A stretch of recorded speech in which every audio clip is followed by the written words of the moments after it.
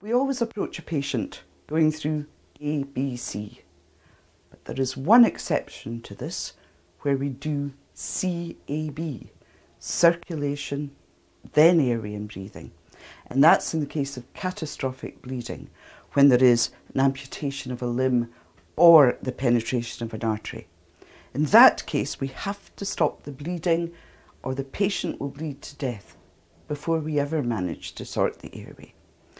What we use in order to do this is a tourniquet, and this is one example of tourniquets that we use. This one is called the Combat Application Tourniquet.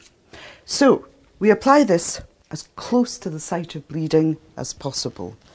Remember, everything below the tourniquet will be lost because we are going to cut the blood supply off completely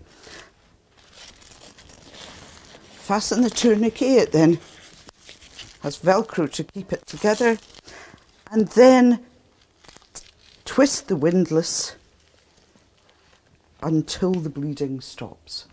At that stage, you pop it under there just to hold it in place.